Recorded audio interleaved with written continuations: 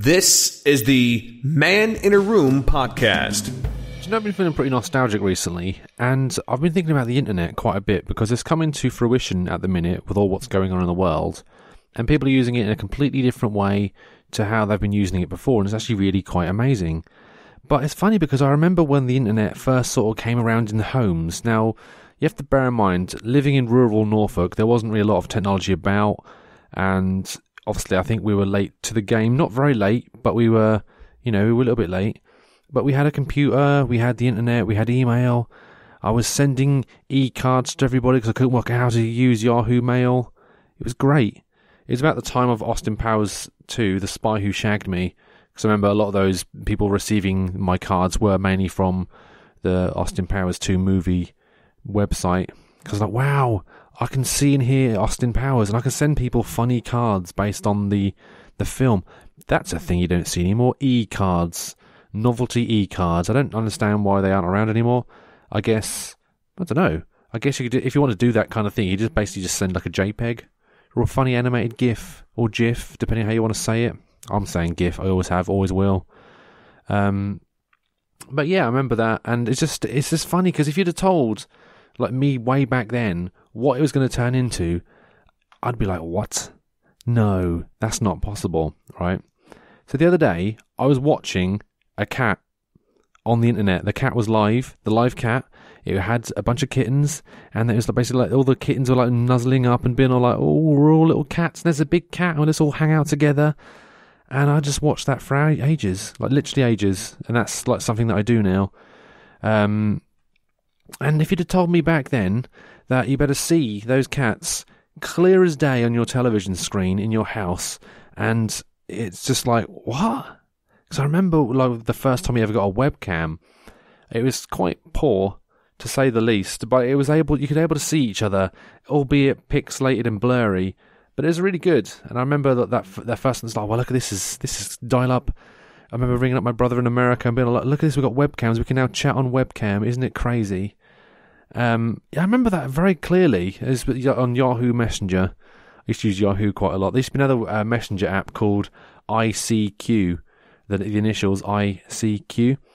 Uh, the, obviously, there there been a joke there. I seek you. You see, I think ICQ is still going actually, but I don't think they're being used by anybody. Do people still use messengers as you know as that? I think everyone just uses Facebook and uh, WhatsApp and uh, it's actually quite funny because it has come full circle. Because I used to chat to a lot of people like on on MSN. Do you remember the old chat rooms on MSN or the old chat rooms? Old chat rooms, they used to be a lot of fun. I used to love a chat room.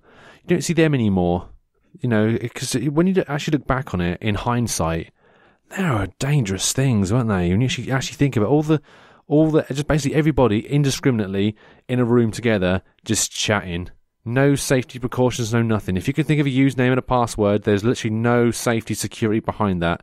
And when you think about that, that's insane. It's genuinely like, what is that all about? Because they, used to happen all the time.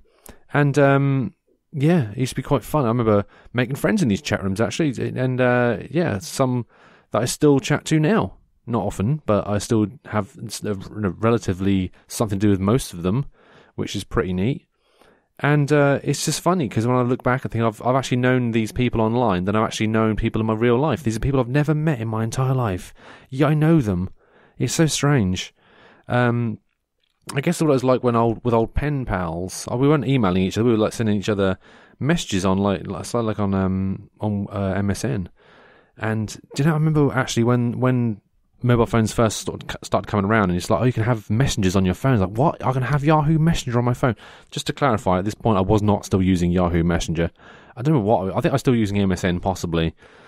Um, and I remember trying to type to my friend, and I was like, I, I, I couldn't type quick enough because obviously the touch screen was really bad, and like I just couldn't get on with it.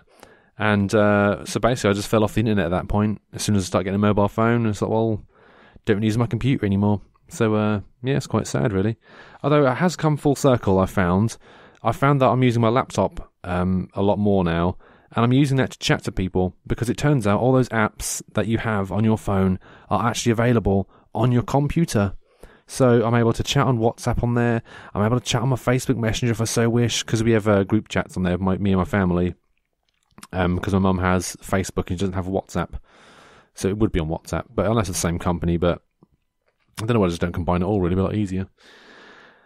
Yeah, it's just absolutely mad when you actually think about the way technology's come on.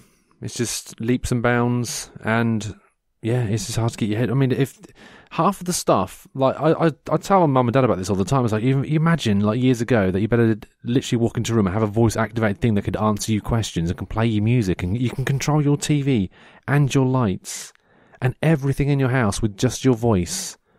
It's like, what is going on? This is only 20 years, but then I'm thinking that is 20 years.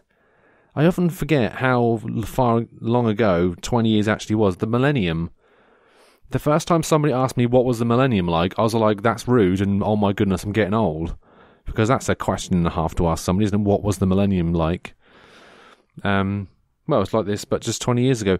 Everything was silver and metallic because that's was, a, that was the aesthetic that people were going for. They're using like whites, silvers, like the futuristic, oh, we're in the year 2000 kind of aesthetic but that aesthetic that's probably from what you'd imagine the sorry the nineties, uh, not well the nineties idea of what the year two thousand would be like, and they made it like that. And then it just got rubbish for ages, and then yeah, we're here now. Um, so they kept just trying to rehash all the old stuff, but you know it's crazy now what we're doing, and uh, yeah, it's mad, absolutely mad.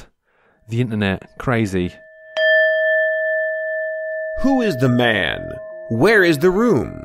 It's some guy you've never heard of, in a room you've never been in. For more information, head over to maninaroom.co.uk.